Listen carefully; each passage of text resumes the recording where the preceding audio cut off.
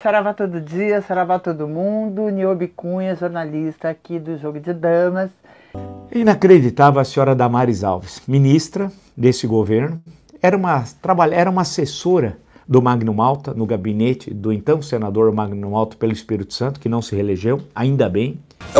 Às vezes, assim, há, há coisas que são absolutamente inusitadas mesmo. O páreo era difícil. É, quando você. Hum? Eu vejo, por exemplo, a Damares, ministra Damares, eu, eu acho que ela é capaz de coisas do arco da velha. Quando a coisa está apertando, quando o bicho está pegando, sempre aparece um, uma história, é, algum ministro, né, com alguma história estapafúrdia. A senhora, a ministra Damares Alves, foi à Ilha do Marajó, estava uh, comentando um episódio terrível, que é a questão dos estupros. É, a última pérola da ministra dos Direitos Humanos foi dizer que meninas eram abusadas sexualmente por não usarem calcinhas. Sobre abuso sexual na Ilha de Marajó. Estava dando os resultados é. do programa Abraço o Marajó. Né? Isso, Abraço o Marajó. Sobre uh, o caso excesso de estupro de meninas na ilha do Marajó. E, portanto, ela, num, num arrobo empreendedor, sugere que algum fabricante de calcinhas se instale na ilha do Marajó, enfim, porque vai gerar emprego. Essa fala, que logo ganhou as redes sociais, aconteceu durante o lançamento de uma campanha contra a exploração infantil na ilha do Marajó. A senhora Damares Alves, ela banaliza o estupro. Ela banaliza o estupro. E isso faz parte do bolsonarismo. Aí ela disse que especialistas disseram a ela, ela não disse quais especialistas, uhum. Disseram a ela isso que vocês vão ouvir agora. Solta aí, vai. Chegaram a falar para nós aqui no gabinete que as meninas lá, elas são exploradas porque elas não têm calcinha. Elas não têm calcinha, não usam calcinha, são muito pobres. E disseram: por que, que o Ministério não faz uma campanha para levar calcinhas para lá? Conseguimos um monte.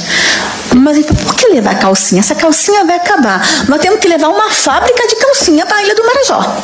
Gerar emprego lá e a calcinha sair baratinho para as meninas lá. Então nós estamos buscando, se alguém tiver aí uma fábrica de calcinha e quiser colaborar com a gente, venha. Mas nós estamos buscando empreendimentos para a Ilha do Marajó. Já estamos conversando com o empresário.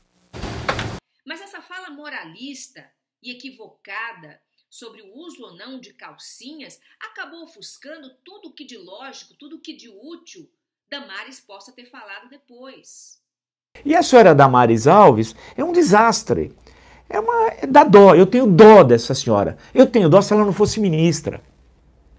O problema é o cargo que ela exerce e a função que ela exerce. Esses fogos de artifícios aqui, né? essa prestidigitação que chama. Né? Eu, eu faço assim com a mão, você está olhando para cá e eu estou tirando sua carteira com essa. É o famoso batedor de carteira. É, é, é para isso que servem esses ministros, né? que são vetores da ignorância, vetores do obscurantismo, vetores da, do insulto, né? Eles são um insulto. Não, ministra. Exploração sexual. Olha só, entenda. Exploração sexual, abuso e violência contra a mulher, né? estupro, não se combate com medida moralista, não. Medida vazia, como o uso de calcinha. Isso é lenda, ficção. Então, quando ela chega e fala do episódio da Ilha do Marajó dos estupros, porque as mulheres supostamente não usaria calcinhas e por isso que tinha os tem os estupros, estupros lá na Ilha do Marajó, ela está dizendo que o problema é das mulheres. Porque ela, se, ela tivesse, se elas tivessem essa peça no vestuário, estaria tudo resolvido. Os índios não usam calcinhas e não precisam, as marajoaras, muitas delas também não usam e não precisam. E não é por isso que acontece o estupro. O estupro acontece por pessoas como a senhora, que coloca para baixo do tapete o machismo dessa sociedade. Porque se roupa íntima fosse seguro contra estupro, ministra, as penitenciárias do Brasil estariam vazias vazias de criminosos. Eu só sei a consequência. A consequência é que ela banaliza o estupro. Um raciocínio absurdo como esse, eivado de machismo, de moralismo, de preconceito, isso jamais deveria vir a público. Isso é um desserviço. É, não, na Ilha de Marajó não dá para ter uma, uma fábrica de calcinhas.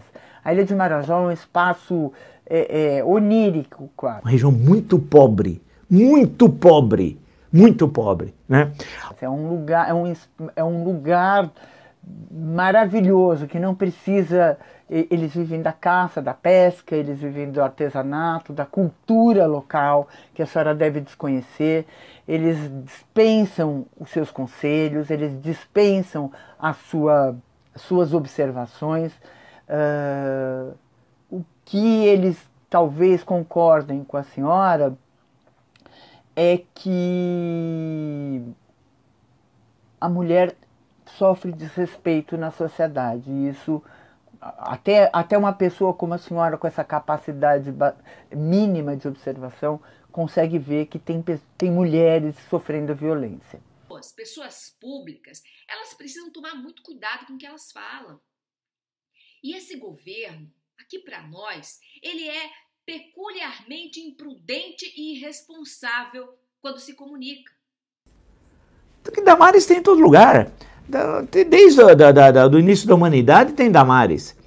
É, é, senhoras como essa. O problema é essa mulher ter poder.